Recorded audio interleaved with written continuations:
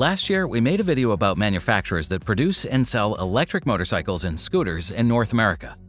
Having gone through the comments on that release, we found quite a few new requests to revisit this topic. So, in today's video, we'll be talking about the latest changes in the industry and briefly reviewing the newcomers by American e-bike makers. Let's get the ball rolling. Livewire S2 Mulholland this year, Livewire, the electric motorcycle brand by Harley-Davidson, is expanding its model range with a battery-powered cruiser bike. Just like other models in the brand roster, the upcoming Livewire S2 Mulholland will be based on the modular Arrow platform that encases a 62.6 kilowatt electric motor, a 10.5 kilowatt hour battery pack, and power electronics into one structural unit. The powertrain generates 194 pound-feet of torque and can bring you to the top speed of 100 miles per hour, while the 0 to 60 mile per hour sprint takes just 3.3 seconds. One full battery charge would grant you up to 120 miles in the city riding cycle, while a 0 to 80% recharge from the L2 station will take just 80 minutes. The bike backs up its eco-friendly nature by using sustainable materials and features an array of must-have safety features like CABS, enhanced traction control, and drag torque slip control.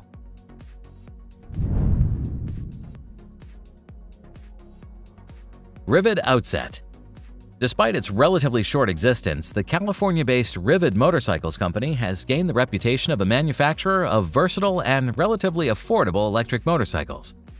For the 2025 model year, the brand has announced a new Scrambler-style model with dual-purpose capabilities.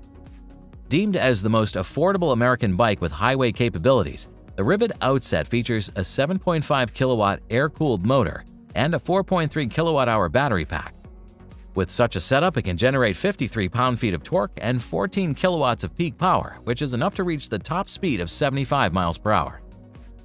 Considering that the bike weighs just 315 pounds, you can expect responsive handling and nimble riding dynamics for up to 70 miles between charges. Just like other bikes by this manufacturer, the Outset model is equipped with a removable battery pack that has an integrated charger and needs just about two hours to be topped up.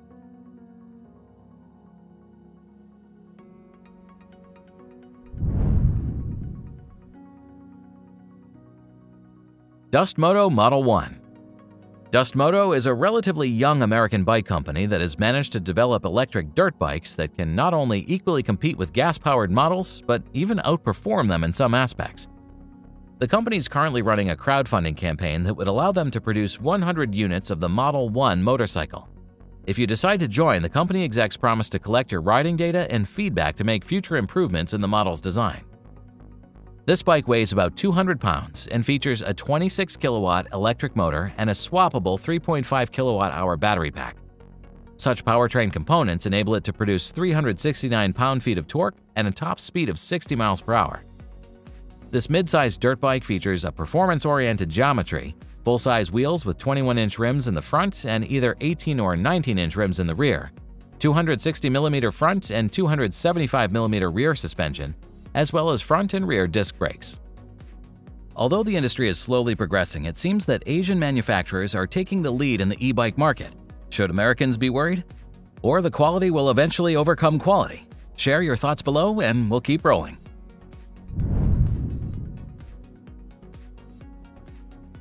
Zero Motorcycles DSR X Zero Motorcycles first began exploring the concept of an adventure tourer back in 2021 when the limited Black Forest edition of the DSR model was announced.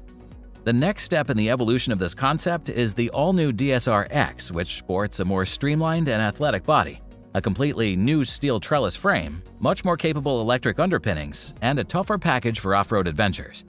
The bike operates with a brand new brushless Z-Force 7510X motor, the world's most robust e-bike carbon belt drive developed by Gates, and a Mudport wheel sprocket.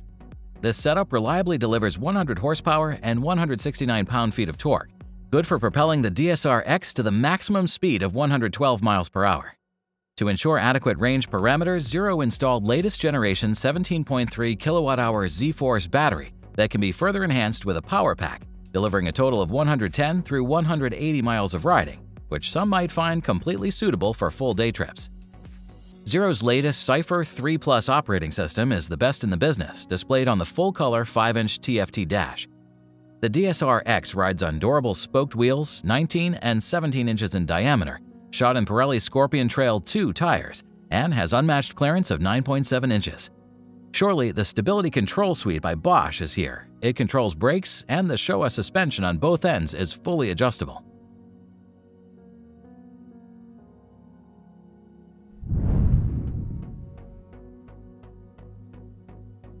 Real Motors Project Aries Real Motors is the new name in the market of battery electric motorcycles.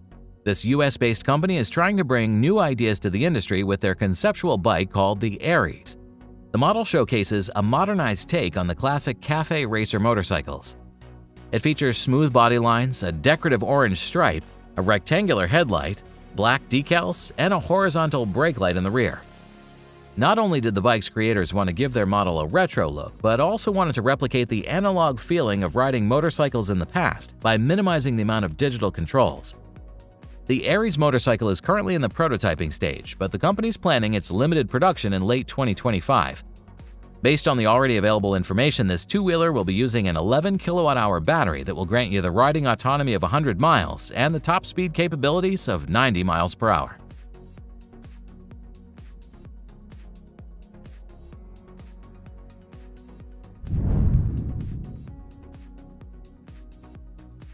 Can-Am Origin Can-Am announced its return to the motorcycle market a year ago by unveiling two new bikes, Pulse and Origin, both powered by an electric drivetrain. Today, we're talking about the latter, the adventure-focused model that pays tribute to the brand's heritage in motocross racing. The bike is designed to be ridden in the city while also offering superior trail racing capabilities. It has a futuristic design with a double LED headlight and mismatched wheels. Its electric motor from Rotax is integrated into the front section of the swing arm, sending power to the rear wheel via a final drive belt. This setup allows the drivetrain to be separated from the chassis, which is dedicated to accommodating the battery and electronics. We do not yet know the pack capacity and the range of the Origin, but the company promises level 2 charging.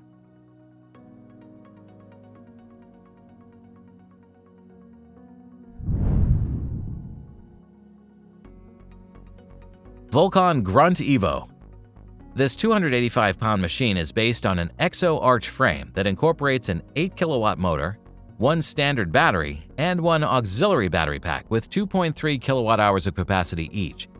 The motor output is transferred to the rear wheel via a Gates carbon belt drive system that is known for its near-silent operation.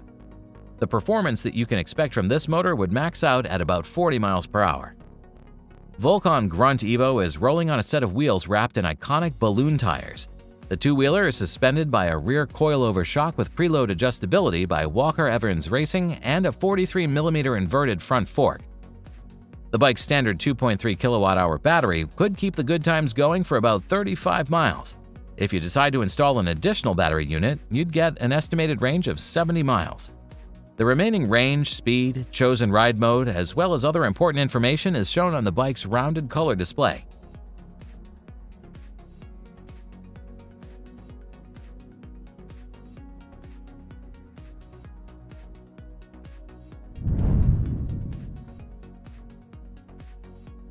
Tarform Vera For the 2025 model year, the Brooklyn-based Tarform Motorcycle Company has announced the second model in its history.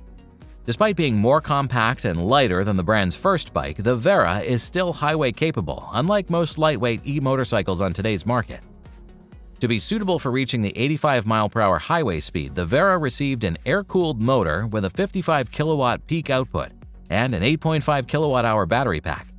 With so much power at your disposal, you can accelerate from 0 to 60 miles per hour in 3.5 seconds and cover distances up to 100 miles between charges.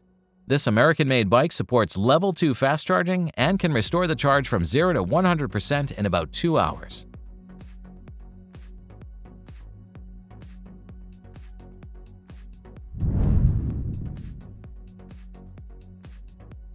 Fuell Fllow we first heard about Fuell Fllow over three years ago when Eric Buell announced his new electric mobility endeavor.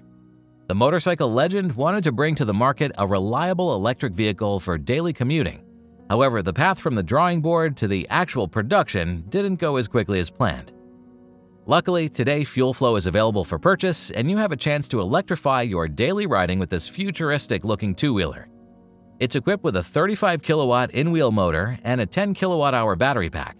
The bike's powertrain has two power modes, Urban mode, which is geared towards conserving energy, and the Audacious mode, which unlocks 550 pound-feet of torque, zippy acceleration to 60 miles per hour in 3.5 seconds, and an 85 mile per hour top speed.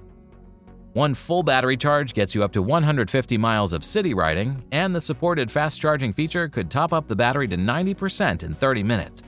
However, in case of the home charging, you'd need to wait for up to 10 hours.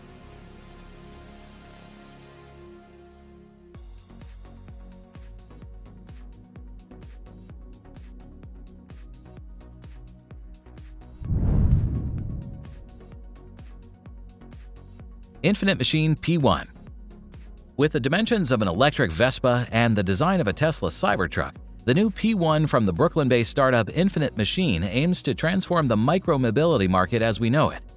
The model is underpinned by an aluminum and steel frame. It has simple angular bodywork and can carry up to three battery packs at once. As standard, you get the scooter with a single removable 3.6 kilowatt-hour unit integrated into the floor, offering 60 miles of ride. Two more packs are available at an extra charge. The P1 is brought into motion by a 9-horsepower motor rated for 16 horses of peak output and capable of producing 55 mile per hour speeds. You can also ride it without the Class M motorcycle license, but then its performance will be limited to 35 miles per hour. The model offers four riding modes – Eco, Performance, Turbo Boost, and Reverse. You also get a digital display with Apple CarPlay and a theft prevention alarm. Another big advantage of the P1 is its modular luggage system. It includes a rear cargo box that can be fitted with additional external components like racks, luggage bags, or even loudspeakers.